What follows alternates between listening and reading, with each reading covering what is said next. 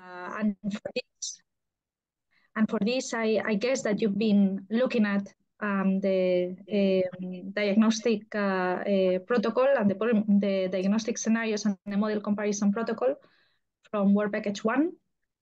And uh, in this session, we're going to do something that is very similar because we're still uh, doing model comparisons, but the model comparisons are a bit different because now we are not comparing models within the same class, but across the spectrum of, of what can be done. So it's not only uh, one integrated assessment model versus another, but one integrated assessment model versus an energy system model. But this philosophy actually can be also applied to comparing energy system models to more detailed sectoral models. We will discuss later in the presentation. Um, the agenda that we're gonna follow today is first, I would like to um, talk a little bit about why we need uh, different model types and we cannot get accurate analysis and accurate um, uh, calculations for uh, policy making if we stay within the range of integrated assessment models and many things that they do not capture. So we need different types of models, but we cannot use them uh, individually, but uh, we need to link them and uh, and that is why I would spend uh, a little bit of time explaining how we link models of different types and uh, uh how we need to structure this linking so that we can get as accurate conclusions as possible. Then, whenever we, we use different models, uh, we do not arrive to identical results. And this is something that, that you guys have been uh, have been looking at in your um, workshop with with Will. So in this case, it will not be different. Actually, it will be worse because right now the scope of the models is also different. We will get some discrepancies and we will give you some guidelines about how the discrepancies arise and how we can understood them, understand them. Uh, also, I will uh, be more specific about the features of the models that set them apart and that are the source of the, of the discrepancies. And when all this has been clarified, then we will start with the case study, which is where you guys start to work. And uh, for this, we're gonna have uh, the help of uh, Hauke Henke and uh, from Emir Fejzić, and uh, they're going to be showing how we get the data. You've been already presented with the Scenario Explorer. So we're going to download data from the Scenario Explorer. Don't worry, we will share an Excel file with you. So even if uh, the Scenario Explorer doesn't work for you right now, um, you will still get the data to carry out the exercise. And uh, with Emir, we will use uh, some uh, interactive software so that we can share the insights that emerge as you carry on the exercise. Um, and those insights are going to be directly uh, related to uh, the topics that we have been discussing. So where are the discrepancies? What is the best way to carry out the model comparison and so on. Um, then after the case study has been completed, we're gonna give you some, uh, well, has been completed, has been tried by you for a while. So we will give you uh, some minutes to work, um, preferably in pairs. So I can see that some of you are, are already sitting down in pairs. If not, it might be a good idea for you to, to look for a partner. Um, of course, groups of three are, are also welcome, the access, or, or you can stay on your own as well. Um, but pairs would be preferred. And after you have tried that, we will give you some um, some specific guidelines on how uh, you can do these comparison exercises better. And uh, uh, we will try again, see your results, and discuss a little bit to wrap it up with uh, conclusions. Now coming um, to the uh, to the reason for this seminar, for this workshop. Why do we need several model types? Well, in case anyone needs a reminder, but this would be like a, a preaching to the choir, right? Because it's all modelers here. We need models because we need to plan for the energy transition. And in the energy transition, many things are gonna are gonna change. Uh, you will, uh, I bet you are mostly uh, acquainted with, with these scenarios, with distributed energy and global ambition, ambition from um, uh, the TYNDP. And, uh, uh, and as you can see, the share of renewable is set to, in any case, increase dramatically. And uh, this is going to have uh, a very deep impact, not only on the um, electricity system and the energy system as a whole, but also in the economy, as there are so many interrelationships that we need to consider. So we really need energy system models to evaluate um, what is gonna what is gonna happen. So in any of these scenarios, as we said, a lot of renewables, many uh, many changes, and uh, if we don't have mathematical models uh, to really evaluate the the different possibilities that we have to arrive to this uh, uh, low carbon future, we won't be able to make good policy decisions. So basically, we know that we're going to arrive, or we know that we want to arrive to a place with a very low carbon, but there are many different ways to arrive there, uh, many different pathways. The pathways that are best need to be evaluated in a comprehensive way so that we can determine what is the future that we want and what is the uh, most efficient policy that will leave, uh, that will let us there.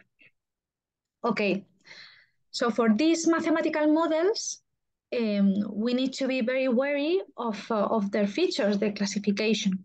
So just very quickly, even though we will touch on this a little bit um, later in more detail, I would like uh, to just uh, insight that the, the um, that it is uh, very important from the very beginning to have a clear idea of their technical and economic detail. So for instance, we can have top-down models, such as uh, um, general equilibrium models, which are going to uh, be able to capture very well the macroeconomic uh, relationships, for instance, but uh, will lack some of the technological representation that is needed. Um, but then we have other types of models, bottom-up models, that are going to have um, a higher detailed uh, technology representation. There you have uh, several examples, but in the uh, ECEMF uh, suite, you have uh, many different uh, models. And there's been other presentations um, focusing on the, on the different models that you have available. Also, we need to consider what is the approach that is, that is used mathematically and uh, we can either see uh, for a for a pathway that we define what is the cost by a simulation. Mostly, we're going to simulate different um, scenarios or different uh, snapshots. The difference between um, a scenario would be that the scenario defines long-term uncertainty, such as uh, how many, um, how much renewables we have, or whether there is um, nuclear or not, things that are the wide uh, range. And uh, the snapshots, we refer to the, the different operation situations for, for, the, uh, for the system. The, the most detailed operation models will take into account every, all the hours in the year and, uh, and they will simulate what happens in the system for, for this uh, um, for each of these individual uh, hours. We can also have uh, optimization, and in optimization models, what we're gonna have is that the capacities are uh, optimized. We get the, the optimal investment, the best investment that we can consider. And um, we have a, a mixture of models there. Also, we're gonna have uh, to deal with different um, spatial and, and temporal scopes. And uh, here, for the time scope, we can have models that are maybe very detailed, as, as I was mentioning, that, that maybe can take into account all the hours in the year. But then they will uh, only look at one year, and other models that are going to be more coarse, but uh, can look at the very long term, even uh, 100 years in, in some of the in some of the cases. And uh, along the same lines, we're going to have different uh, spatial um, resolution in the in the models. We can have models that are global and describe um, all the world. We can have regional models, and uh, with regional, we we can refer to um, one Europe as one region or Europe as uh, two region uh, or even countries. We will discuss this a little bit later. Or we can have local models that are going to focus on, on a very uh, much smaller scale.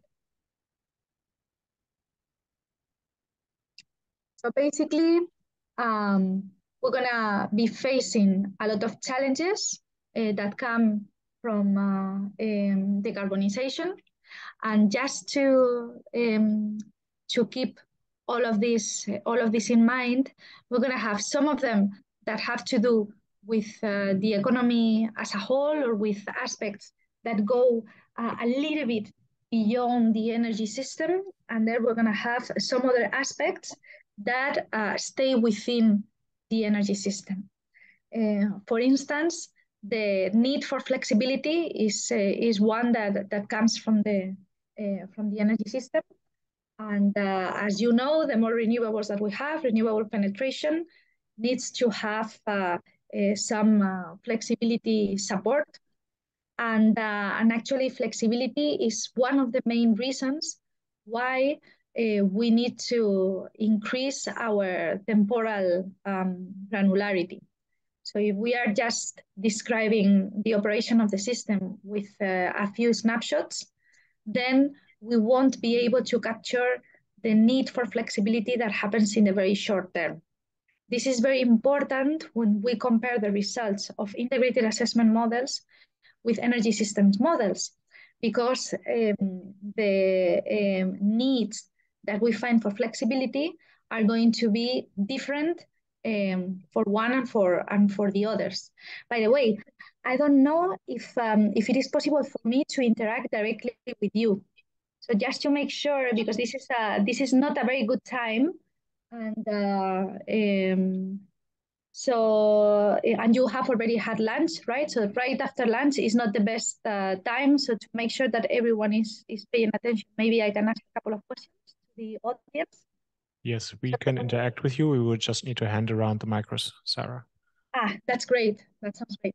So can I ask, there is someone, let me, um, so in the, the first row, there is someone wearing a green t-shirt. Will? I can see, is that Will? It's Will.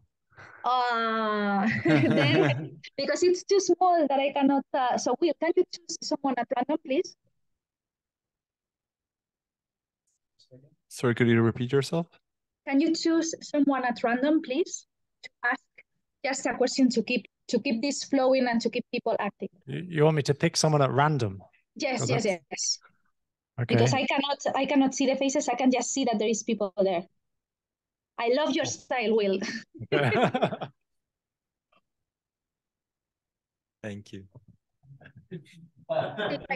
so if uh, if I ask about flexibility, what is your your your reaction if I ask you what model uh, what model and why is going to be able to um, uh, correctly assess the need for flexibility or what is going to be the different in the the difference in the assessment of flexibility carried out by an integrated assessment model and an energy systems model well at least in uh, in case of energy system models it's like time resolution is only or could be even less, like mm-hmm. quarterly. Um, and this is not the case for uh, integrated assessment models, of course. And this is where the bottlenecks of the system will be appeared. And it's good to consider them in IAMs. Precisely. So all the need that we have for, uh, for instance, what are, what are the what are the technologies that you are going to to see a higher need for in energy systems models? To be more specific. the technologies that have to do with flexibility. You, sorry, Sara, are you asking another question? Uh, yes, yes. So I was asking a follow-up question. Oh, so okay. You're so what are the technologies? Yeah, you're still on the. Thank you, by the way, for for participating. Uh, Gladly. So, so what are the the technologies that we're gonna see a higher use use of in energy systems models? Well, of course, transportation is part of it, but on top of that, there are topics on batteries uh, or storages, okay, hydrogen good. storages, very good, or seasonal storages. That depends. They are all flexible. storage, yeah. So all storage in general, all yes. storage in general is going to be um, more used in in uh, energy systems models. And if uh, instead of having just two models, we were to have three. So imagine that we were um, looking at one integrated assessment model with one energy system model, and then the energy system model coupled with a sectoral model, which is uh, the exercise that we carry out at ECEMF as well. Uh, then the need would be even higher in the in the sectoral uh, model, in the electrical model. Uh, okay, um, with uh, electrification, we have there the icon of the of the electric vehicle. So basically, the same the same is going to happen in the electric system. Sorry, in the energy system model, we're going to have a more detailed description of what happens with EVs, and uh, actually, even just uh, changing the the loading profile of EVs can have uh, a drastic impact, even with the same penetration different uh, charging profiles can have a, a, very deep impact on further need uh, of flexibility for, for the system. Um, so for instance, right now in, uh, in work package uh, uh, 3, uh, we're having surprising results that we haven't yet shared that have to do with these, just very slightly different assumptions for um, EV charging profiles uh, can lead to widely different uh, results. So what the system can take depends a lot on what is the, the charging strategy. We have emergence of new technologies. Um, obviously, we're going to have more technologies described in energy system models. Uh, for instance, can, can you give a, an example of what can happen with, with technologies? Uh, Will, can you pick someone else at random? Well, does does anyone have a have an idea? New technologies. Want to? Uh, hydrogen turbines, maybe in the future we can use them. Yes. Mm. And, uh, fuel cell that, that would be one. Uh, sorry, can you say that again? Uh, a fuel cell technologies also in the uh, transportation. Yes, yes. In transportation, there are many um, many new technologies that um, that are uh, currently uh, being considered. Um, even um, and, and uh, in, in some cases uh, with uh, very different uh, uh, perspectives depending on the scenario. So in the electrification of uh, load transport, for instance, we can have very widely different assumptions. So it is true that in transportation there are many many new technologies. Same thing with with heating. Um, with some some um, technological solutions such as district heating uh, having again very widely different uh, assumptions. We don't have a, a, clear idea of what is going to happen. Even um, geothermal um, is is uh, something where where people cannot think, um, cannot seem to get their assumptions uh, to match. Um, but there is there is also another. Um, there's also an, another topic related to this, which is where is the technological description more detailed? in the in energy systems models on or in uh, integrated assessment models obviously in the in the former energy system models. And this is going to also uh, have some uh, impact on the on the results. Um, also other other topic that is uh, uh, crucial is decentralization as you have there uh, some solar pv on on um, well, this this can be anything. I, I was thinking of a rooftop, but but it can be it can be anything really. So with when we talk about decentralization, what are the main issues that that come to play in in energy in energy system models that cannot be captured in integrated assessment models. Again, another another question. I like uh, Will's style uh, on picking a, a, random person, but I, I, like it better for the looking for volunteers. So if someone else can um, can interact. So what is the what is the issue with decentralization, and what is what is it so important when we are dealing with these models? Um, I think the geographical spread of where is the demand and where is the supply, matching that uh, can be a challenge with decentralization. And mm-hmm. also maybe how the institutes are like who is buying the electricity. Um, uh, is it making business sense for them for, for the utilities to buy decentralized electricity, which can be at times more expensive? Awesome, awesome. So uh, the the main issue is gonna have with is gonna uh, come with the geographical spread, and uh, if we want to actually consider precisely how things are gonna happen, we would need to have models that uh, include, for instance, the transmission network and the distribution networks, and those are much more complex. So those those would be in the scope of uh, sectoral models. Remember what, what we were describing about having integrated assessment model and the, and the sectoral model at the bottom.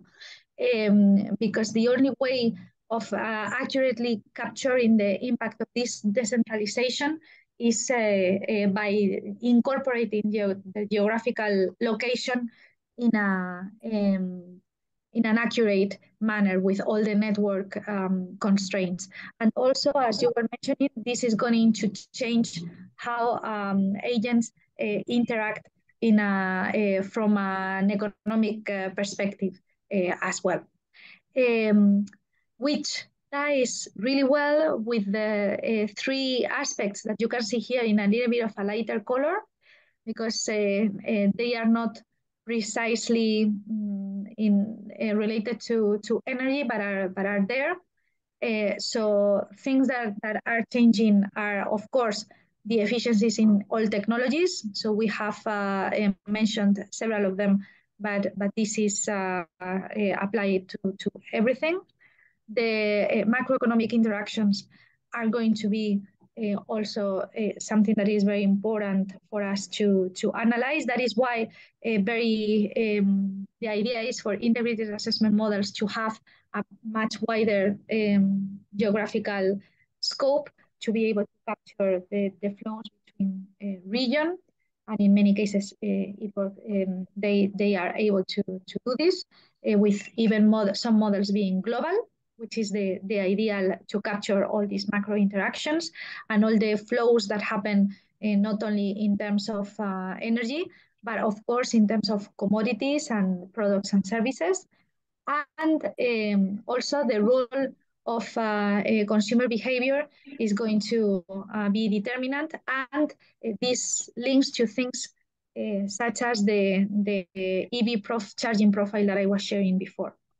So um, the, the way that consumers adopt new technologies is going to adopt new technologies and, and use the available technologies is going to be um, key to see what can uh, the, the future pathways uh, to, uh, um, to a zero carbon or to a low carbon future be. So as, as you could see, uh, I had included here a citation, which is that basically it would be very nice to include all the features of, of systems into one model, but it doesn't seem like, like this is possible. So what we do is that we link um, several, several types of models.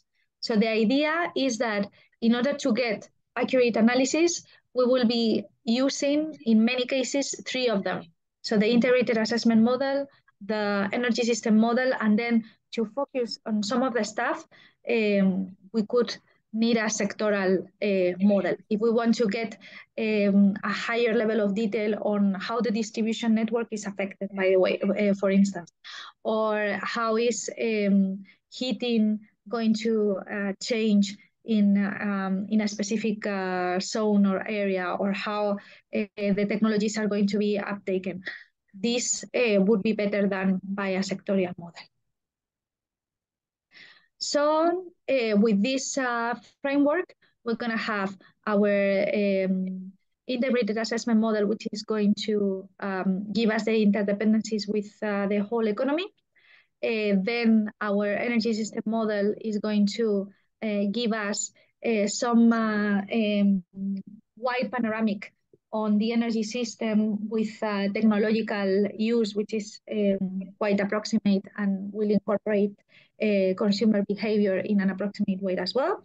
And then some operational aspects that are more detailed are going to be taken into account by the sectoral model. But in this case, uh, we're going to be focusing on the link of the previous two.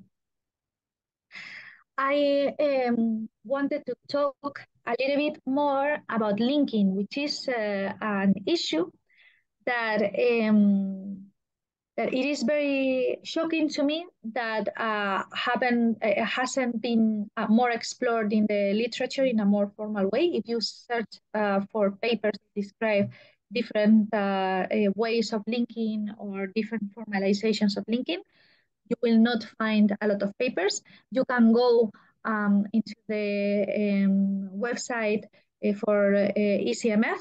You have uh, for um, um, Work Package 7, you have a, a library with the most important references and some uh, also some other uh, documents that will help you organize your linking between uh, two different models.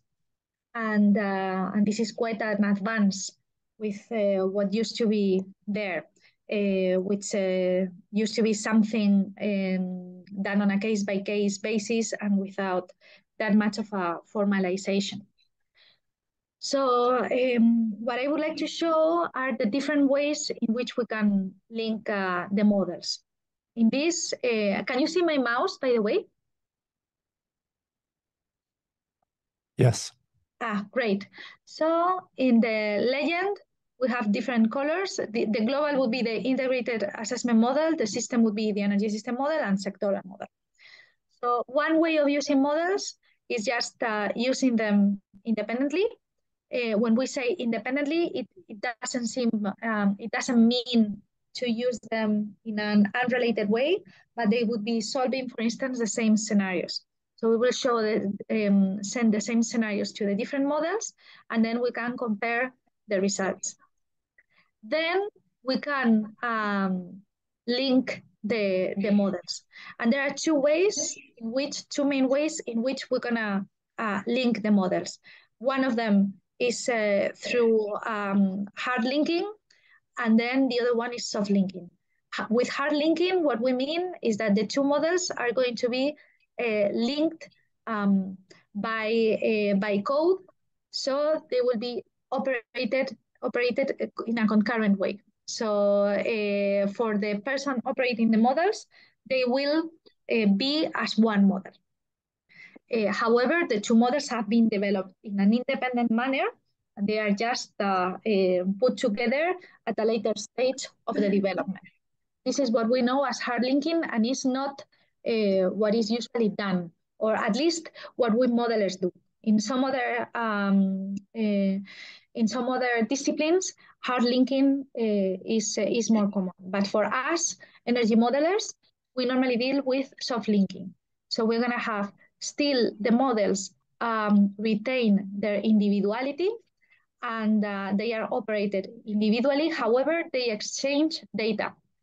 And in the data exchange, we need to uh, standardize uh, the way that we express these, uh, um, these variables and parameters and that is why we make use of uh, systems such as the Scenario Explorer, which is uh, um, one great uh, advantage, or it what I mean is that it has been one great step towards sharing data in a standardized way.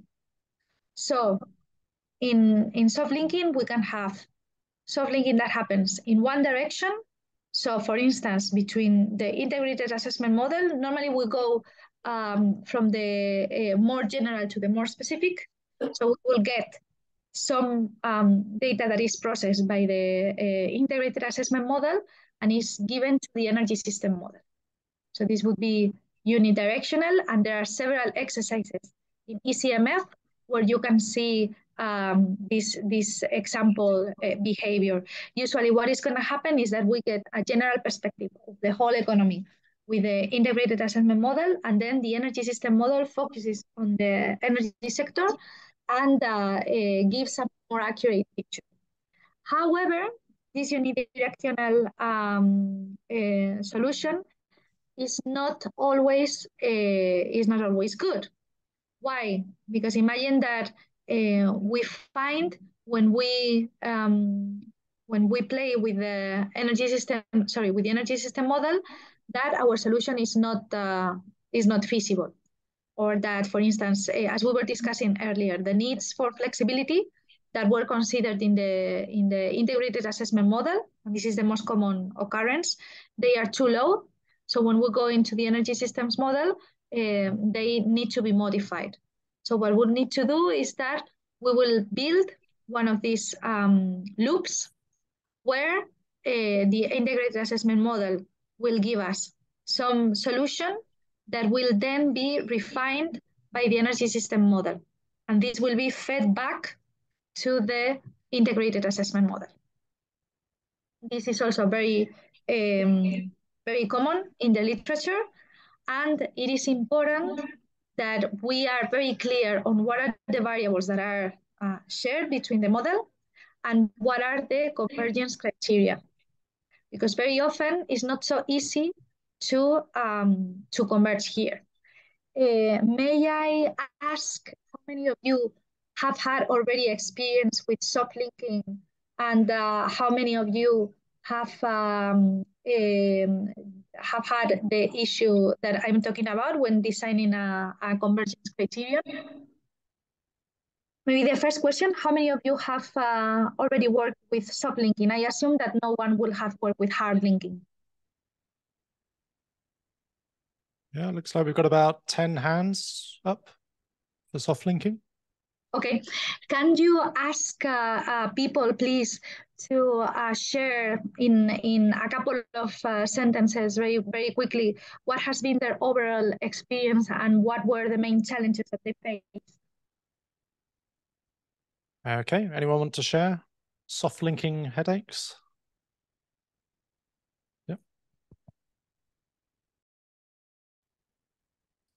So I wanted to mention that in case of soft linking, change of API would be uh, problematic, especially when you read some uh, data for, or um, outputs from another model, and if they change the API and you your model still works with the old API, then it's problematic. Mm. Then you have to resolve the issue and adapt it. Yep. Yep. More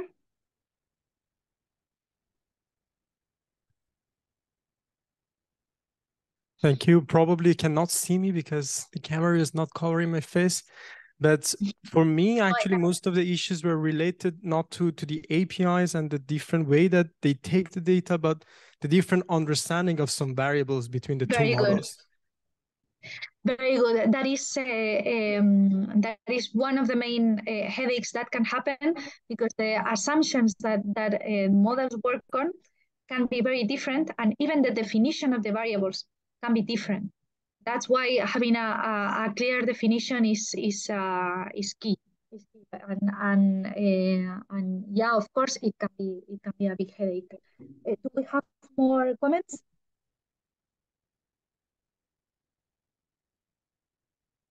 Yeah, uh, it was a while ago, but I had issues with the definition of time steps, especially when there is storage involved.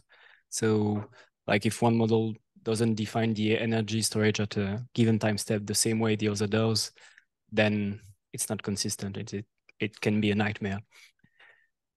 Mm, so with time steps that were not uh, consistent, but that is uh, when you were using models uh, that so you were soft linking energy system models, not one integrated assessment model with an energy system model, right? Yeah. yeah. Okay. Okay, yeah. okay, okay, understood, understood. Uh, we will talk about the harmonization of, of time granularity. Yes, of course, this this is this is uh, also a very important point. Do we have more uh, comments? I mean, just a quick note, we talked about uh, semantics of data um, and sort of the meaning of different variable names and misunderstandings a bit this morning. And it's it's mm-hmm. something that's a common that's a theme at open mod i guess. Um, there's there's some work on on this so we can report yeah. back on on this aspect. Thank you. Thank you very much. So um, basically um, in those are the the the, um, the things that happen in the reality of, of soft linking and uh, even if uh, if you have worked in many different projects, soft linking integrated assessment models with energy system models, there will be uh, issues when linking uh, one model to another that hasn't been linked in the past. So the only way where we can uh, feel safe is when when we have worked with the same model in the past and uh, and we know precisely yeah those semantics, those assumptions, the format that that uh, that is in the data, and, uh, and everything has been smoothed um, out in a previous exercise. By the way, I didn't mention this, but there's also a way, um, another way to link models, which is the uh, endogenous um, linking. And in endogenous linking, what we would do is uh, to, to get uh, the constraints of the uh, energy system into the integrated assessment model. So it's like building a bigger model uh, which is uh, this is not considered linking by by many people. It would be like making the model grow, but this is not usually what we do. In the same way that hard linking is not usually what we do. We work with soft linking. And by the way, this um, this will be expanded in a in a paper that will come uh, that will come very soon from uh, uh, one of our um, uh, colleagues at at Comillas, who is also working at ECEMF. So now we've said uh, that we need to work with, uh, with different models and we know that we're gonna link them and there can be some problems. Uh, but the main thing here is that even when we have solved these problems and the two models linked by soft linking, there can be discrepancies in the results. So uh, even when we are only uh, in the spectrum of uh, integrated assessment models, Uh, covering the same um, uh, the same aspects of uh, of reality and of the economy, the results will be different. And this morning, I bet you had a, a very interesting discussion with Will uh, about the model comparison within integrated assessment models. So the results even when we put the same scenario and even if the models have the same scope, will not be the same. But we need to see if they are consistent because uh, there might be uh, some uh, errors in the way that we have uh, uh, the data that is uh, that is fed to, the model or um, um, or other sources of discrepancy that need to be cleared up. But after those have been cleared up, there will be still some discrepancies that are remaining. So what are the, the main uh, sources uh, for discrepancy? I'm gonna uh, read you this list, which is uh, uh, something that is not comprehensive, and then I'm gonna ask you to elaborate uh, based on your experience, which one of these is most important and which one has been the most relevant for you. So for instance, we can have differences in the way that scenarios are, are described. So maybe the, the assumptions are not precisely the same, the data is not precisely the same, the one that is, that is given to, to the model. Uh, or even the, the representative snapshots that we use, even for demand.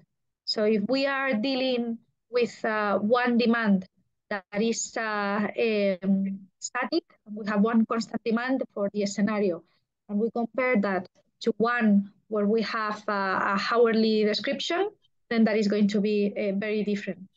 Uh, even if, uh, if we have uh, the same number of snapshots, if they have been uh, built using different techniques. Uh, for instance, uh, in many cases, we use um, K-medoids or other clustering methods to select our snapshots. They, those snapshots will not have uh, um, the same um, average result than looking for hourly data. Um, would you be able to to uh, to say why? Can anyone uh, maybe maybe touch on this? Imagine that I have a hourly description and then I get the representative snapshots using clustering. Why will the result be different?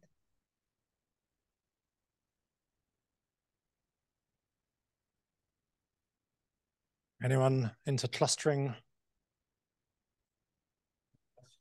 Yeah, uh, yeah. Can you repeat the question, Sara, just again? Uh, so um, imagine that I have one model that considers um, hourly demand. And in the other one, uh, I have only some representative snapshots. They can be many snapshots, and they have been selected by a clustering. Why, when I use clustering, my result for instance, uh, as operation cost will not be the same as when using hourly data. Even if they are representative and uh, I make sure that the average demand is, is still good and, and everything. You hear me, Sara? Yeah. Yes. So um, it might be due to, due to the fact that you choose to cluster on a very low number of clusters and the extremes such as the peak demands might be different from the hourly data which is then of higher resolution and which covers those peaks. So the investment strategy of the model might alter depending on the sets of demand data that you're using Precisely, precisely. So the difference is going to come from these extreme scenarios that are not usually not going to be sufficiently represented in our clustering. Some people, if you guys are into clustering, uh, some people, uh, what they do is that they pollute the scenario tree. This pollution is, uh, is very often done by including extreme scenarios that wouldn't have been picked by the clustering or increasing the weight that we give to these uh, extreme scenarios. Um, however, uh, the only the only way in which we can be uh, completely sure that we are um, that we are dealing with a, a, set of snapshots that is as representative as possible is to compare not only in terms of demand but also in terms of uh, operation cost, which is going to uh, to reflect uh, better if one scenario is more extreme or if it is not. So those differences in, in terms of scenarios, uh, the scenario definition, or in, in terms of uh, the representative snapshots are going to be uh, very important. Um, also, the differences in the detail of, of, representation of the energy sector are going to be um, very important as well. So for instance, we can have models that deal with different technologies versus models that deal with generating units. Have you guys had uh, the experience of working with um, uh, with models concurrently that were dealing with uh, lamp capacity per technology versus the um, individual generating units? Or does everyone work with a, with a capacity per technology?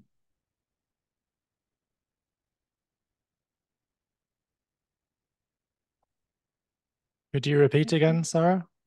So does everyone work or has everyone been working only with models that um, that deal with an aggregate capacity per technology?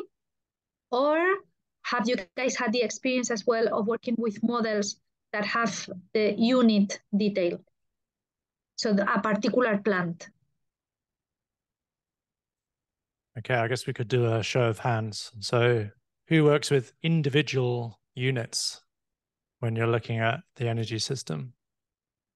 And who looks at just aggregates for capacities of technologies?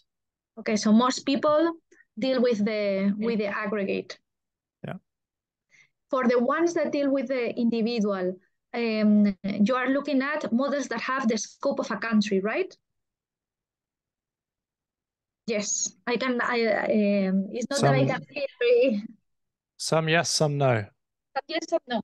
For the for the ones uh, that deal with the specific units, can you guys um, stress the differences between a model that that has the aggregate uh, technology versus the generating units, and how uh, you can try to um, balance both of them to make them more consistent?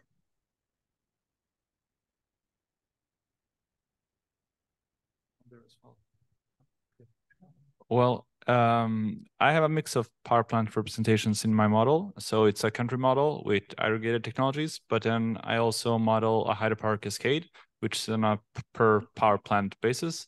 And uh, that is just to be able to um, model water in the model as well as storages. So they are still meeting the same types of demands and their availabilities are differentiated between um, one being limited by a water resource and other one being limited by a capacity factor that is assigned to that aggregated level of technology. Uh, but I wasn't really sure about the question of how like you yeah. No, the way to try to harmonize them both. Yeah. Uh, so your capacity factor will be uh, will be one way. So um, you are going to have so the the the main thing that that will happen is that when we are dealing with specific units, there will be lots of different constraints that we need to take into account. So uh, we won't be able to use them as much as uh, as we would expect if uh, if they are just like adding the the capacity. So um, so we would need to to um, put a little bit down the capacity when we are uh, looking to the aggregate model. So that is that is good. Um, also, um, we were talking about time granularity earlier, so that is that is fine.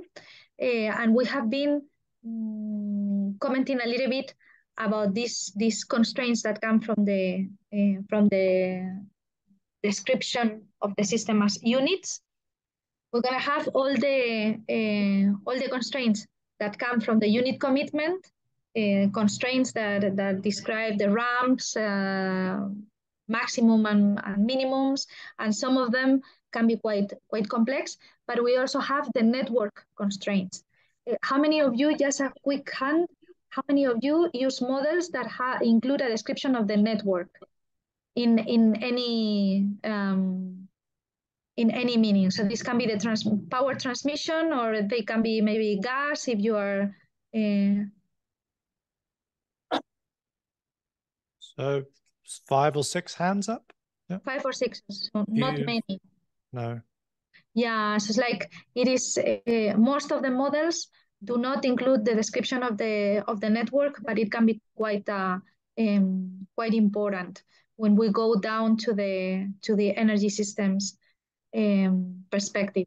And uh, as I was trying to um, portray earlier, so all this question about decentralization has a, a deep impact on, on network needs. Uh, one of the, the tasks within Work Package 3 is actually looking at this. So you guys will have some uh, results on this uh, calculated with, uh, with models that do incorporate the network uh, very soon. Also, uh, we have been talking about differences in assumptions like profiles or things like that. Um, but another one that we haven't touched upon are the differences in modeling approaches, whether we have linearized or not linearized uh, some of the uh, constraints.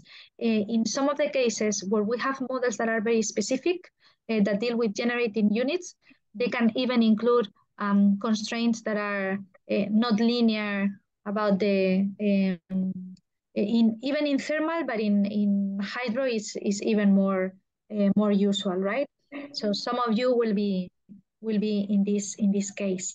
Um, do you think that I have left out any main sources of discrepancy that you have found in your um, in your day-to-day -day work?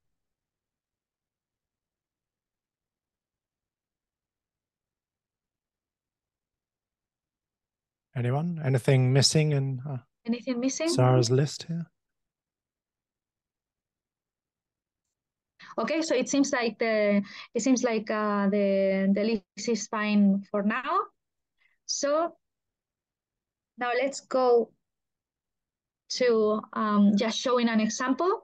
And this is uh, again from a paper that is not yet there, but will be soon available to all of you. And uh, um, and in this uh, in this is Hauka's uh, paper and some other uh, authors from from the project as well. So as you can see here, uh, the the differences in the in the results are quite are quite different. So in in this case, you can see um, total energy and electricity. Well, in this case, electricity produced by solar power. So the differences are quite large. And as I was saying, they can be primarily larger than the differences that we have in integrated assessment models because we have more sources of discrepancy. If we go back here, and this is just to make you realize what we are doing. So the, the exercise that you were carrying out this morning with Will, there were discrepancies, but the discrepancies couldn't come from all this that we were um, that we were uh, discussing because the the um, the details of the representation are going to be much more similar between models that have the same uh, the same scope. Okay. Now, um, just to um, to be to be more specific on these differences. I would like to have very clear the, the scope of the model features that are going to define uh, our energy system model and our integrated assessment model. This is going to come also in a, in a paper that will come very soon. But this is very familiar for all of us. So basically, when we compare uh, the models, and again, let me come back. I'm sorry to be uh, moving from one slide to another, but these sources of discrepancy, the idea is that they could emerge. So they, they should not be something that surprises us when we start um, comparing our models and searching for the, the root causes of discrepancy, but there should be something that emerge as soon as we start uh, with the exercise of the comparison, because we are going to look at the two models that we will be comparing, and we will set out their features, and we will contrast them, okay? So these two tables should be a way of making um, the discrepancies uh, obvious before we even start the exercise. So we will be looking at what is the decision scope of the model and uh, the time structure. So basically, we're going to have models that go uh, to a longer or a short-term horizon. Uh, also, we will uh, get different time resolutions, okay? And uh, different time structures, which is something that we haven't discussed yet. So we can have one static model, which is going to just look at the horizon and this is it. We're gonna have myopic um, models that uh, get the result for that moment in time and then the next one, but there will be no um, joint optimization of the different uh, time, uh, uh, time posts, or a dynamic model, which is going to take into account uh, all the possible evolution at the same time and optimize for that. So this would be what can happen with the, with the time, and uh, this will include things such as the process in which we, we have uh, designed our snapshots. So differences in, in the snapshot characterization of an important variable such as demand is gonna have is gonna come here. Also, we're gonna have our geographical scope and the uh, and the geographical granularity. So um, we're gonna go from the global to the local and uh, the granularity can be, for instance, uh, transmission nodes. This will be one geographical scope that will be very detailed, or maybe we have one node per country which is going to be less detailed, or maybe we're gonna just uh, have two zones uh, per uh, for all the whole Europe, as we will see in, in one example uh, in, a, in a couple of minutes. Then we're gonna uh, check what is the technological scope. Usually in the energy system model, we're gonna deal with, with all of this and, uh, and they will have different uh, levels of, of detail. And in most, uh, in most of them, we will also uh, have, for instance, hydrogen uh, added here. Okay, so uh, checking with this, we will get into uh, more details. So for instance, in the technological scope, we will check uh, what are the technologies that are included, uh, examples of, of this that we have mentioned already. We were talking about the emerging technologies in, in transport, what happens with electric trucks, for instance. What happens with your thermal? This is something that we have discussed Eh, as well, that there were many different eh, assumptions for cost and for uh, the potential for, for capacity. There are many, many different technologies that we're gonna include or not, and also the, the description of this technology with the constraints that are associated. So with this, we would get the technological granularity, and hopefully we will be able to anticipate the discrepancies that are going to appear even if we don't anticipate how much the discrepancies are going to be, at least we should be able to anticipate, uh, in many cases, the direction. So for instance, if, uh, um, if I get a system cost that is uh, lower in my energy system model, that, uh, well, uh, energy system cost that is lower in my energy system model than in my integrated assessment model, I should be suspicious because I'm including more constraints, I'm including uh, more time granularity, I'm including more stuff. So if I get a result that is cheaper, then it means that something is off about the assumptions that, uh, that I am using. Okay, so right now uh, we have seen um, or we have talked about the introduction for comparisons, and we have given, I think, a, a simple but, but comprehensive uh, framework. And uh, we're, we're going to start with the exercise. I'm going to give the floor to um, Hauki, and uh, he's going to show you how to download the data uh, and how to download the data from the event page and also from the platform. But the idea is that you're going to get an Excel file which has this this format, and uh, uh, you're gonna get two data sets. One that comes from an integrated assessment model, of course, and the other one from an energy system. Thank you, Sara.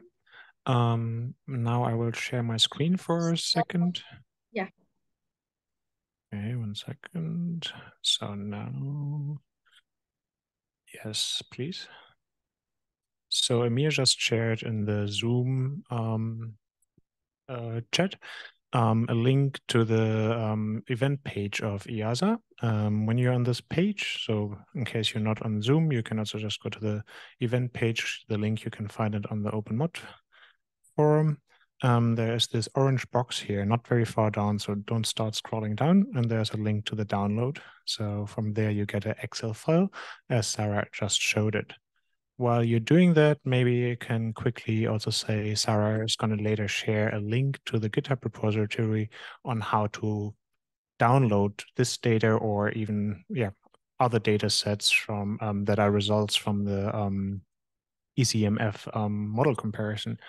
Um, and this link will give you uh, access to a GitHub repository where there's a simple Jupyter notebook um, I can just switch to the Jupyter Notebook. Um, wait a second, why is it not sharing it? Um, hmm, hmm, one second, stop share. I just start sharing again. Um, yeah, there we go. So it's really, it's not much magic. One just needs a Python environment where pyam is installed. I then here define the yeah two models that I'm interested in, a set of variables. Um, Will this morning showed um, how many variables there are available and um, the scenario. Currently, there's, I'm not sure if um, any other scenarios have been published, but in the coming weeks and months, we will um, populate this database, um, which is also available with an interactive interface called Scenario Explorer. But in case you want to play more in depth with the scenario, uh, with the data, um, this is a good way to do so. And with the pyam data um, Py Python package, you yeah can connect to it and download the data and yeah, so I hope you managed to download the Excel file and um, back to you, Sara. Sara? Yes, thank you. So um, I'm gonna just uh, uh, give it a minute so that you guys can download the data. So right now, without saying anything else, what we would like to ask you is the following for the next uh, 10, 15 minutes, maybe more 10 than 15. Uh, could you play with the data? We suggested you to, um, to collaborate in, in pairs, uh, but as I said before, please feel free to, to do it in groups of three or, or even on your own, whatever you prefer. And the idea is um, imagine that you are uh, now working with, uh, with those two models that appear in the, in the data, and you want to, um, to basically answer the question that gives the title to this uh, workshop. So are your results consistent?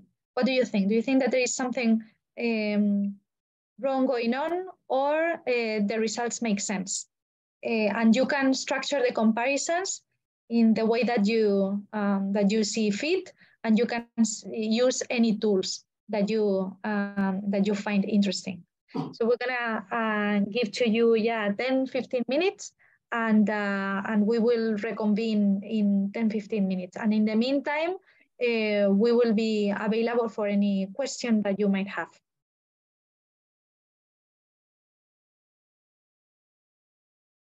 Hello? Uh, so we have prepared a Miro board where you can collaborate two and two. Um, we have 10 groups so far, um, but I'm guessing we're more than 20 people here. So I will just copy more of those uh, boards. And um, yeah, that's what you were thinking, right, Sara? That they start with the Miro already now. Ah, yes, yes. So yeah. that is yeah. that is very good. I was I was gonna um, suggest you to to um, start inputting the data or inputting your insights into the Miro board uh, in a bit when you have the comparisons. But but you can uh, you can start uh, already right now. So the important thing with the in the Miro board you have a, a couple of questions or three questions, and then one part where you can share insights uh, you can look at the data first and then respond to those uh, questions and uh, and we will share the insights that you arrive to in the um, right hand side of the Miro board. Yeah, so for those in the room, we'll share a link to the Miro board uh, on the screen. Um,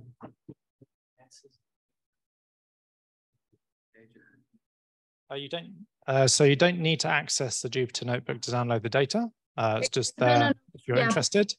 Um, for this session, all you need is that Excel workbook. And this links to this morning session because this is uh, data downloaded in the format of the IAMC template. So this is the data interchange format we're using in ECEMF. And yeah, so if you haven't seen this before, it will be might be interesting to to reflect on the yeah what it means to use this this particular format. Mm, let me just uh, um, say it again to, in order to clarify. So we have prepared the data for you in an Excel format, which is uh, what Hauke was, was showing you uh, that you can load out from, from the event uh, page. So you, you should be able to download it straight away. Uh, however, we also wanted to show you how to get the data yourselves from the um, from the platform, which uh, which will be very useful for you. And as had been um, Uh, very nice, very nice, Emir. Uh, so um, as it has been mentioned uh, before, there are some scenarios that you can uh, download now. The, um, the diagnostic scenario, the linear one is, is there available. And I don't know what else is available right now for the whole uh, community because the, the platform has some more scenarios uh, that are shared within the context of uh, ECEMF. Uh, but many more scenarios will be made available for the general public in the coming weeks. So it, it is very interesting for you to get into the platform and to um, and to download the data. And you don't need to use the Jupyter uh, notebook to download the data. There are other more manual ways of downloading the data if you get into the platform. However, um, it's very useful to do it with the Jupyter notebook. And there are also some tools for model comparison in Jupyter notebooks as well. So it is, it is interesting for you to check what is there, uh, knowing that, that you are working with soft linking and you're working with uh, models with different scopes and, and so on. Uh, yeah, and uh, you can also, if, if you want to now, when you are carrying out the, the comparison, if you want to know a little bit more about the models, you can um, you can check online the, the definition of the model. So for instance, in the, the TIAM-ECN, as you have there, uh, there's only two regions, while the, um, the other model that you are comparing to uh, has, uh, has more regions. But um, let's, let's leave it like that and let's have you looking at the data yourselves. How are you doing? Five more minutes is okay?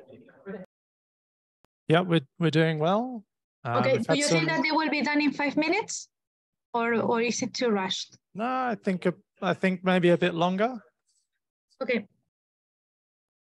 If if that is okay, then um, when uh, continue working, and uh, as soon as you have uh, like something that you can share, get into the Miro board, and uh, and respond in the Miro board, and that can give me a, a good idea of uh, how people are are doing. But yeah, for now, con continue working. Yeah, you've had um, you've had a little bit less than ten minutes, so let's let's give you a little bit more time. If you create graphs, you can also copy paste them from Excel into Miro. I didn't know you could do that. That's very cool. And you need a little bit more time? A couple of minutes or winding up now? Hands up if you need a bit more time. Okay. Sara, I think we can uh, we can move on. Very, very good. Um, so yeah, and it seems like uh, most of the people uh, have finished. Uh, oh, you can see, you can all see Emir's uh, screen, right? Yes. Okay. So let's uh, uh, let's zoom. So they are telling we are comparing um, Calliope and TIAM-ECN. Very good. And uh, one main difference is the geographical granularity. So can we maybe ask uh, Arthur to elaborate a little bit more on the differences in granularity, geographical granularity? Okay, hi. Um, so I didn't knew before, I mean, I've never used before TIAM or Calliope, but from what we've seen, um, TIAM is more focusing on a larger scale modeling. So we found that like there is a, you can uh, model and simulate things only in the Europe or North America or South America.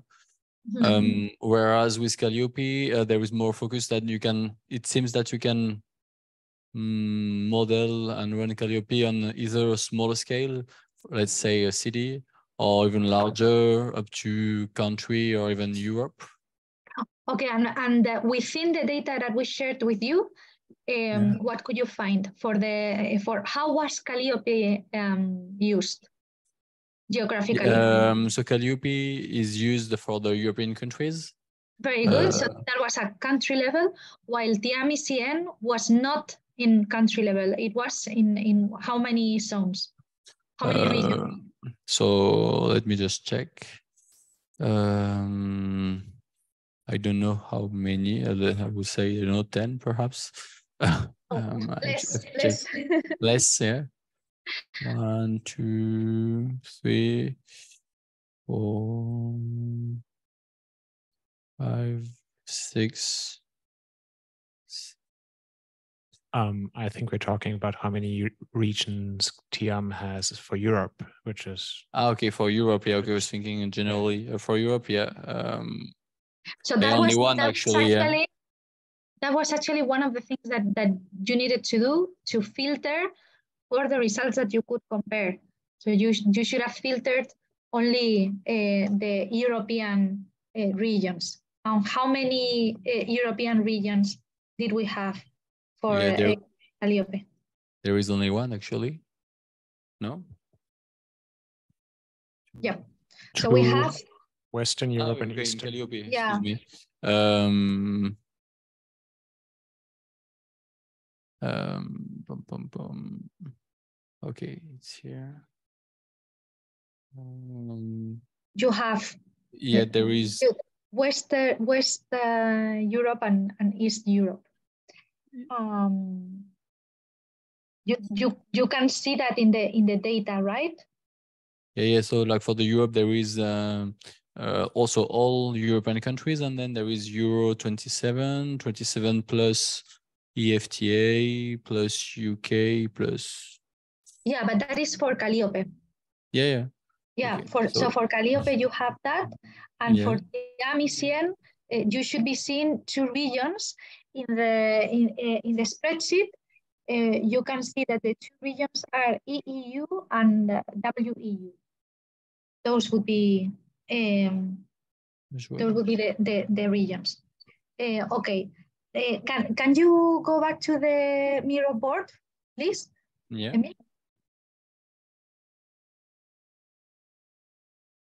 So we can see, yeah. Can anyone share, actually, let me see if I can open myself. Um, can we see if anyone wants to share any more, um, any more information? Because for me, I don't know why, but my Miro board is not, is not opening on my laptop, but, but it's okay.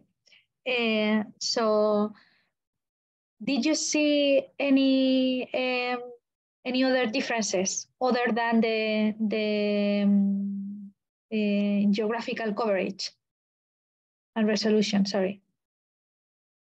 I because could see that emissions are included in one of them, but not the other one. That okay. was another difference that I found. The variables, so this, this means that the variables do not coincide. Not all variables are, uh, are included. So emissions, we wouldn't be able to compare, but there are other variables that we can compare. What would be the, the most important ones? So for instance, in TIAM-ECN, because it's an integrated assessment model, uh, there would be variables that go um, beyond what we're going to have in, in Euro Calliope, which focuses on, on electricity. Uh, but if we uh, if we see at what variables appear in both models and we can compare, what can you say? Which ones um, were the, the ones that appear in both of them? We we can see that the um, in the uh, IAM model we, you can have the um, the energy from the old sector. So I guess you model the transport sector, which is not the case from Calliope. Very good. Yes, very good. The transport uh, sector is in TIAM-ECN, but it's not in, in Calliope because Calliope is focuses on uh, focuses on, on electricity. Uh, maybe you can zoom into uh, what group three is saying, uh, Emir? Yes, uh, and um, when you kind of answer questions, uh, please state the group name so I can jump to your slide so we can see in, in writing as well. Helpful. Very good. yeah, so it says the granularity and Euro Calliope is on run for Europe. That is that is very good.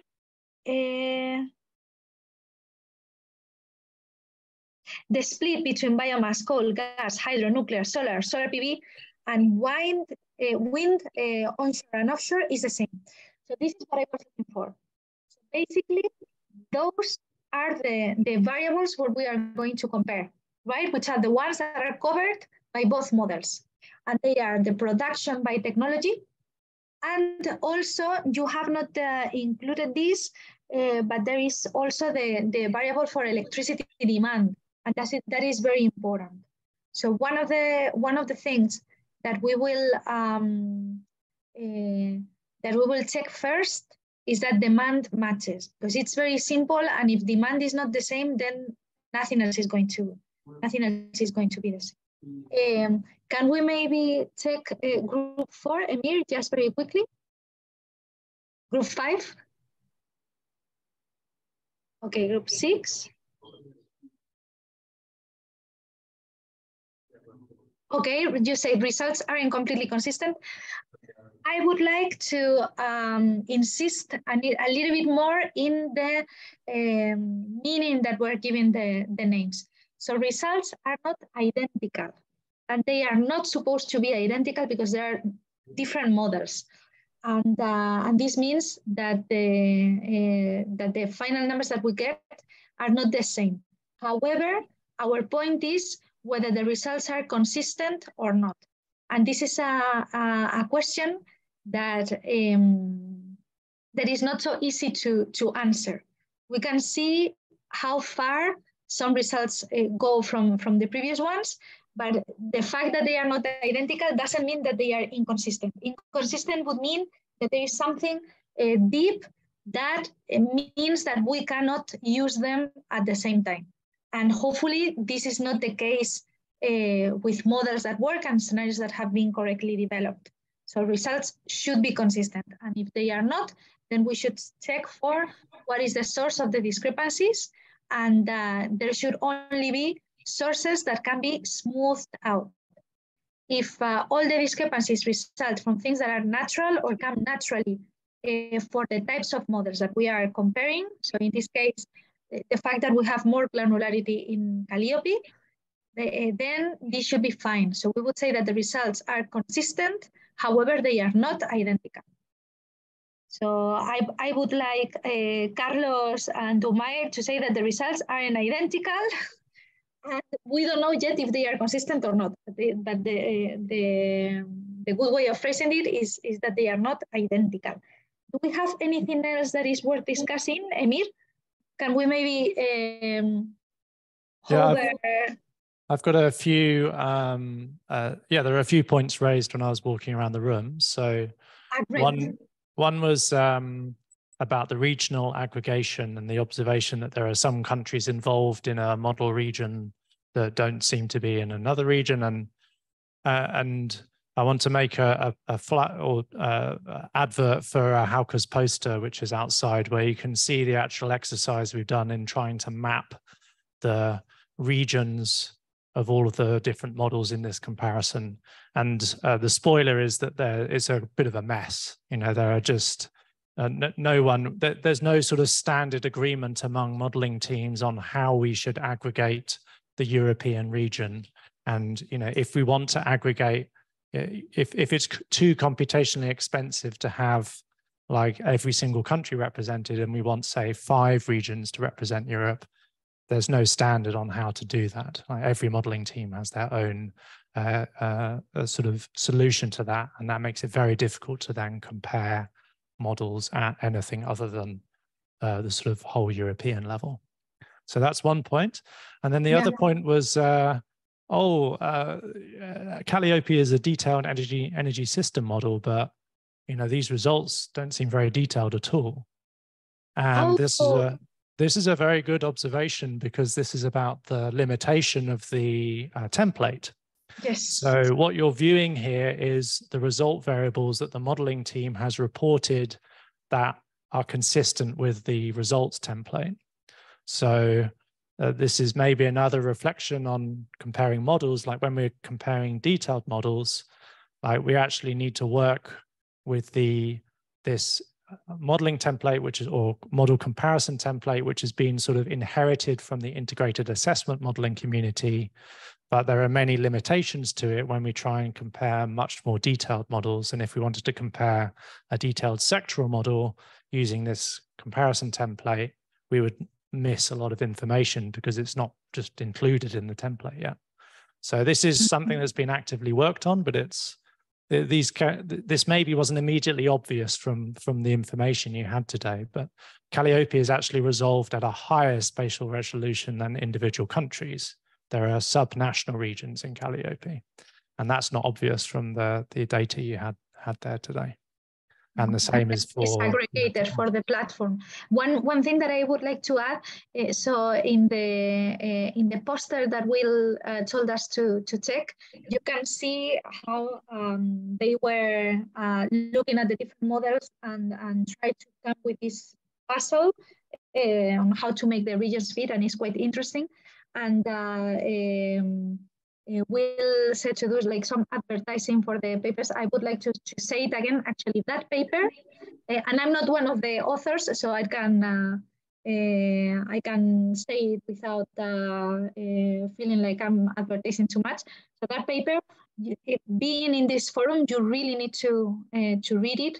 and also another upcoming paper on modeling model footprints that is uh, upcoming by, by Mark uh, Dekker, also from the from the project, uh, gives uh, also a, a, a, very good very good indication of how to uh, compare models, what are the differences, and whether we can see that there is some sort of profile in the in the discrepancies uh, between the models. so so all this is is starting to become clear. And I wanted to add as well that even though it seems unreasonable that um, that the geographical definition is not consistent across models or the variable definition is not consistent across models. It seems like it's not rational. However, it's only with uh, these uh, past uh, European projects like uh, Open Entrance and ECEMF that this is uh, starting to, to become clear in the pictures uh, and that there is some consistent effort towards standardization.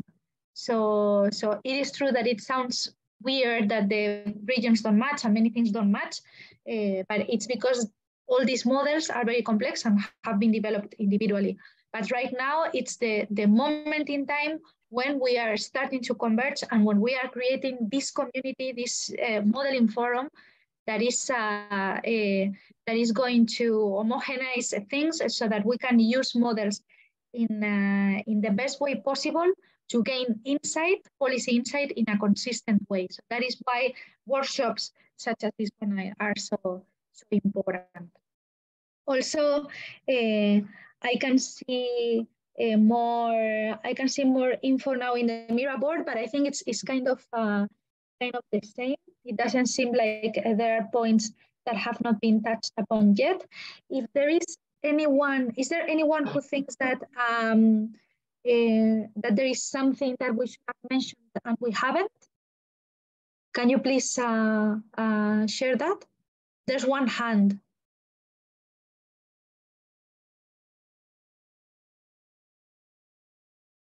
Will, didn't didn't the guy uh, right behind you raise his hand, or is just that I can see very clearly? Does Does anyone have any questions, suggestions? Wave now. Okay. Yes. Yep. Okay. One more. Thank you. Uh, I was looking at the metadata and I don't know if really this is the final version of the metadata or is something that for for the purpose of this session is there. Otherwise, it can be more detailed. Uh, for example, how did the regions are defined should be a part of this metadata. So when someone else is coming from outside, can have a better understanding just looking at the metadata instead of like spending lots of time going through the documentation that in many cases are not so clear. So yeah, that was my question for metadata. No, it's more it's more like a comment for improvement, right? Uh, I'm not aware that the metadata was going to be uh, improved. Mm-hmm. I think yeah.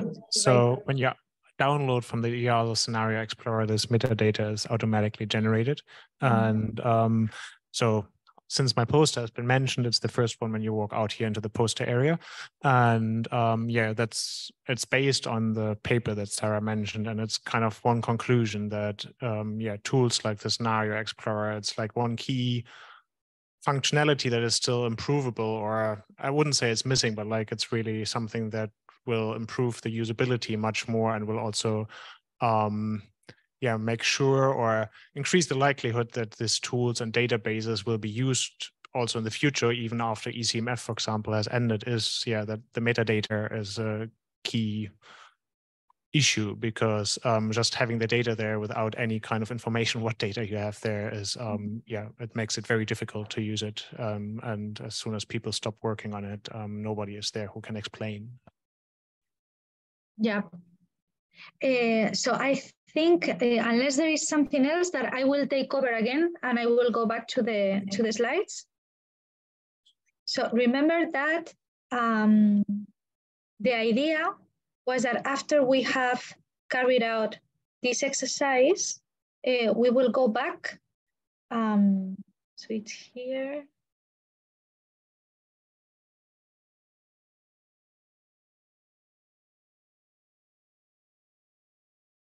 We are back, right? To my slides. You're not in presenter mode.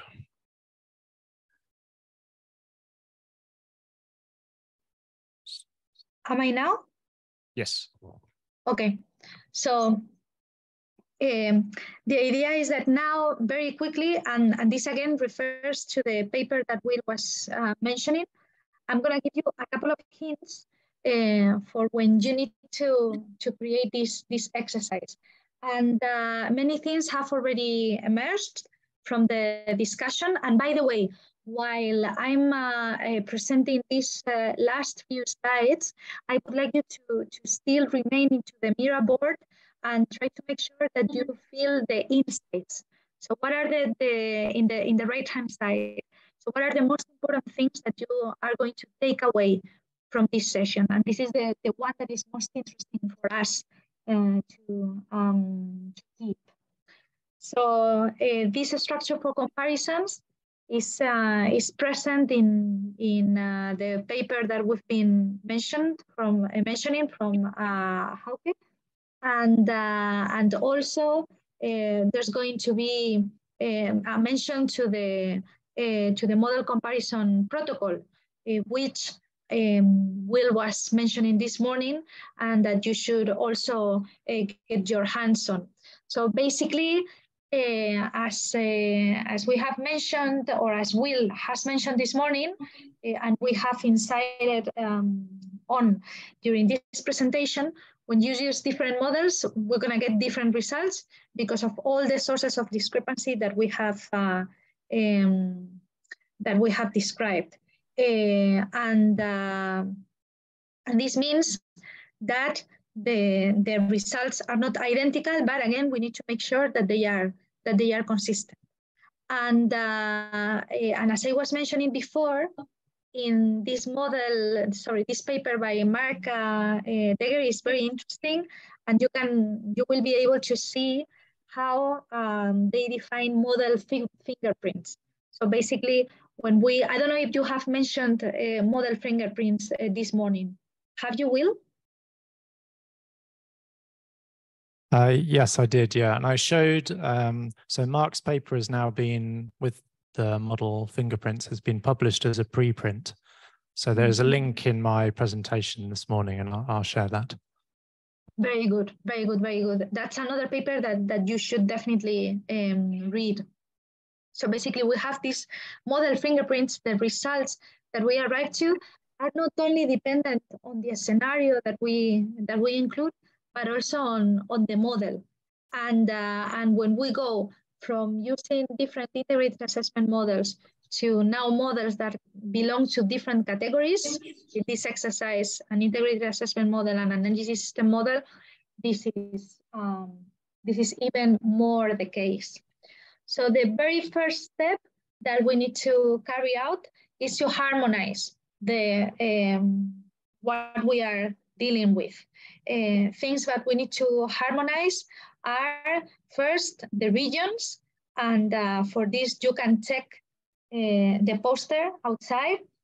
Uh, sometimes this uh, harmonization of, uh, of regions can be easier and, and can be carried out just by aggregating regions very straightforwardly. Some other times it can be a, a real nightmare and uh, the more detailed models are, uh, the more uh, difficult this harmonization can, can be. But in the case of integrated assessment models with energy system models, hopefully the, the harmonization can be achieved. Then we're gonna have to harmonize the variables. And in some cases, we won't be able to make comparisons. And uh, one very important thing that you were commenting when you looked at the data was that we didn't have um, the total emissions for, for both uh, models. And this can be um, this can be something that that uh, that can have a, a, very important consequence because we won't be able to discuss anything that, that has to do with emissions if we don't get uh, results from a model that can calculate emissions. So in, in this case, uh, if we are using two models, and one of them includes them, at least we will have some, some uh, results to anchor the, uh, the discussion. And, uh, and then once this harmonization has been done, we need to compare the, the results. And now we need to see the differences in results, the discrepancy, where they come from. Do they come from a, a parametric course? So this is uh, do they come from scenarios that have been defined in a different way? Or do they come from the uh, different uh, natures, the different features of the models that we are comparing? In, in the cases where the cause comes from the input data, then the main idea is that when we see this, we will try to erase this uh, uh, these differences. So eh, we will try to use the same inputs for both models so that only the uh, structural reasons will, will remain in as much as possible. So, so uh, what is the, uh, the way in which we would structure the, the comparison? And this is the way that we usually work in the in ECEMF and in other European uh, projects. So basically, we go first to the key parameters. So things like total demand, in this case, total uh, electricity demand or total energy demand. Uh, this would the the grand totals will be uh, will be the most important. Uh, also, uh, be aware that the total demand is not going to be um, that having the total demand being the same in both models doesn't seem doesn't mean that the demands are the same per region. So first we check total demand, and then we go over to the regions. For instance, in ECMF, uh, we've seen uh, several instances of total demand fitting very nicely for the European region, but then having widely different um, productions and, and total demands per country. Because you you might have uh, one country that produces much more and then exports and the other country is is having a very large import. We go first to the total and then we go region by region in the in the two models in the same way total system cost is very important and emissions in this case we couldn't check it but to, to check whether emissions match is very um, is very important. And in here is very um, is is uh, is very interesting to look at as early as possible at the discrepancies that can come from uh, these uh, uh different representative snapshots that we were that we were mentioning earlier. Then once we have analyzed this uh, total um, demand or total system cost, we're gonna check production. And uh, it makes sense to check production by increasing cost. So even if we are, uh, I don't know, imagine that you use the Python notebook that we were mentioning, uh, you use it to, to build some charts. How are you going to inspect the charts? It makes sense to inspect them by increasing production cost, uh, or at least that, that is what we do, and it brings you the most information the quickest. So we should say that nuclear or run of the river should be um, producing mostly the same and any differences that, that come in base technologies should be due to differences in the representation of demand. Then renewables should be very similar. Maybe there is a maybe curtailment is, is a little bit different, and those differences are going to be absorbed by uh, the uh, flexibility technologies. And in flexibility technologies, we have all the types of storage that we were mentioning. We also have gas, and we should have mentioned here a network, the network. So we can have uh, flows between uh, regions that are going to stabilize those uh, variations that come from renewables. So, so this is, first we check the total amounts, and then we go by increasing costs. And uh, if we do it like this, uh, we would start by nuclear and we will finish with um, non-supplied energy, which would be like the, the highest uh, cost because it's the, it's the penalty. Although ideally this should be uh, zero in, in, the, in the models. And uh, when we check this, we should be uh, always uh, wary of what is reasonable and what is not. So for instance, um, if, uh, if we are dealing with uh, an integrated assessment model and an energy system model, it only makes sense that the energy systems model has a higher need for flexibility than the integrated assessment model and not the other way around. If it is the way the other way around, then there is going to be something that is uh, that is wrong. And hopefully with this guide, we should be able to identify in which cases the parameters that are using are a little bit different or uh, if, uh, if the differences come from the different representation of the system that is included in the, uh, in the two models.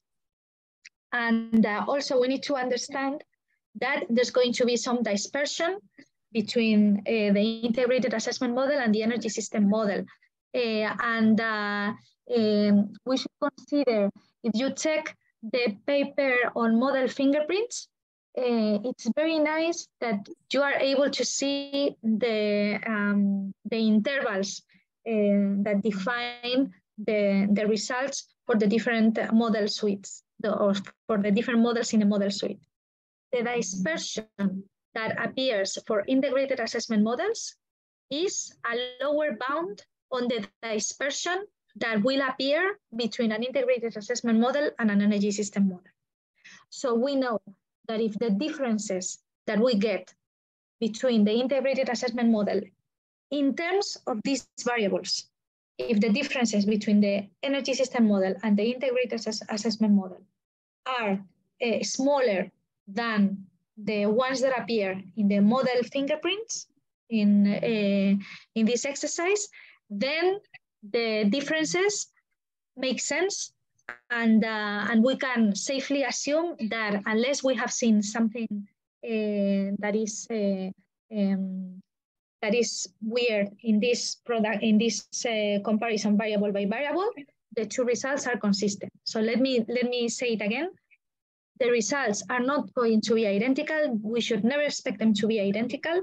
But if we have gone through the work that I was uh, showing at the beginning. So let me go back here.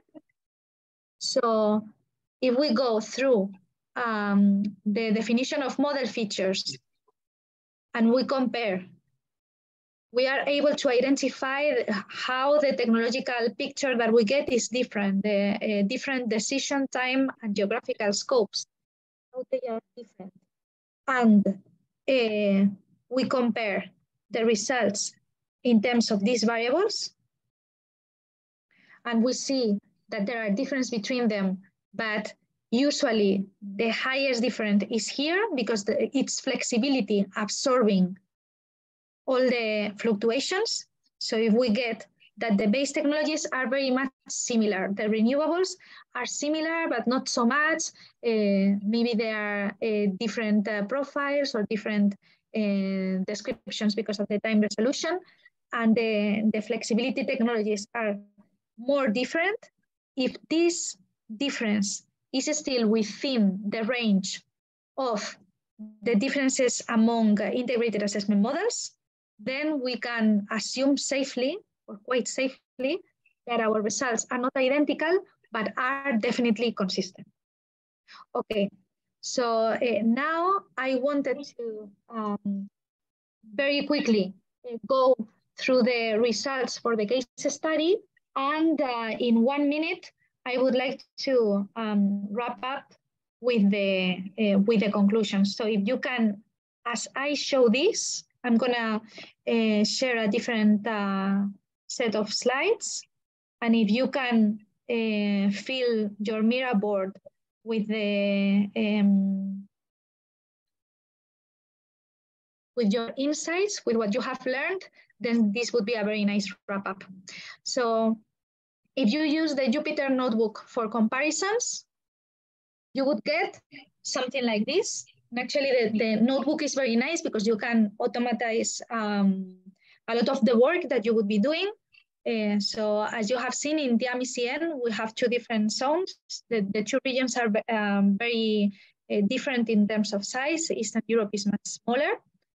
And uh as you can see, the uh, electricity demand is quite different between the two models. So now it, it lets us uh, to wonder whether this is consistent or is it not. and, and here you can check what is the, the different use of, uh, of technologies. So because there is so much more um, demand included in, in Euro Calliope, we have uh, also a very different mix. So in this case, well, and, and this is uh, by share. In, in this model, we have uh, uh many more technologies that are that are included. So this lets, lets us wonder whether this is actually consistent or not. This is by country. And this is comparing with the, uh, with the regions in the scenario. So now, uh, just very quickly before we, uh, we finish, uh, I would like to go back to the Miro board and see what you guys have shared in the uh, insights. Or maybe we can just uh, pass the, the microphone. If you would like to share what is the most important thing that, that you have uh, uh, shared in this, in this region. Yeah, the uh, the bell is ringing and coffee is waiting. So, yeah. So very I, quickly. Yeah, I guess we've got time for maybe three three one liners. So, would anyone like to? Yep. Uh, I think something that will be quite important as part of the database will be I don't know how to call them, but like interstep aggregation.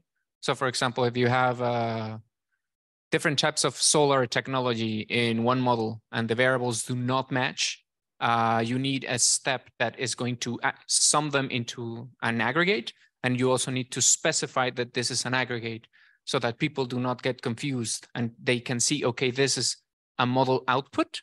And this is something that we are aggregating for uh, intercompatibility for compatibility in the database. Uh, and you can just easily filter them right? I think that would be quite useful. Mm -hmm. Thank you. Okay, any other takeaways from today's session? Two more?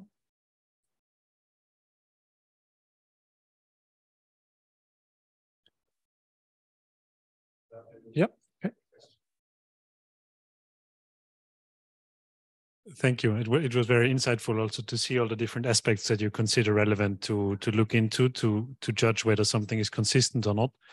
Um, I was still wondering if you say that results are similar. Is there any like quantitative number that you consider, um, yeah to, to justify if something is similar or not is that like because now we we found like 15% um, comparing this Europe and, and Europe excluding Turkey.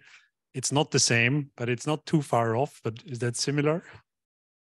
Yeah. So basically, uh, the the answer of how much is is too much in terms of uh, difference cannot be um, cannot be answered with a straight uh, number, and that is why I was saying that the um, that the paper on model fingerprints is so important because because in the in the in that one we know that this is an exercise that has been carried out using a multiplicity of models and uh, we have arrived to these uh, intervals so those intervals can serve as the um, eh, as the bound for what is reasonable when comparing integrated assessment models also with uh, energy system models.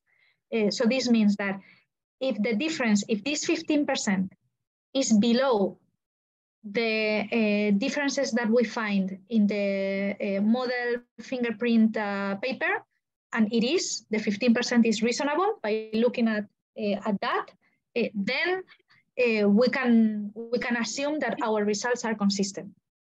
However, I, I am aware that this might not be a super satisfying answer uh, because it's not a, a, hard number.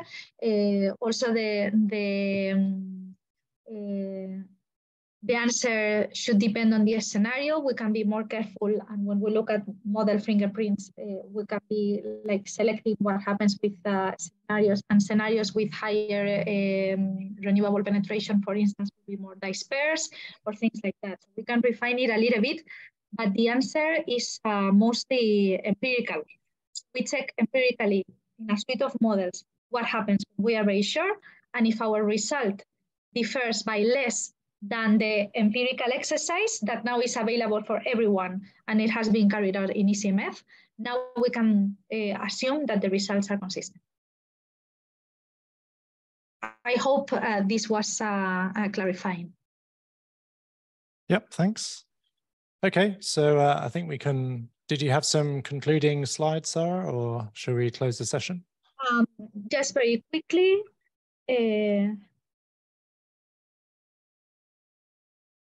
Let me just very quickly share. So basically, um,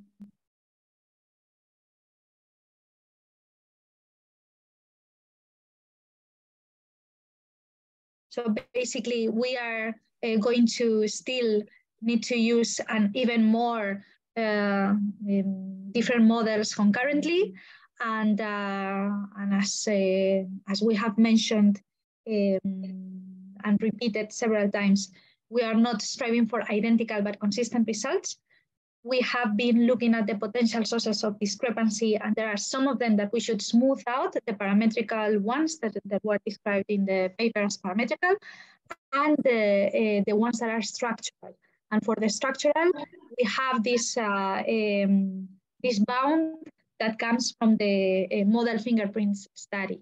So basically, we are starting as a community of modelers to see uh, the light in terms of uh, how to compare our models, how to use them together, how to harmonize, how to share data using the platform, using uh, open models, and, uh, and basically sharing best practices.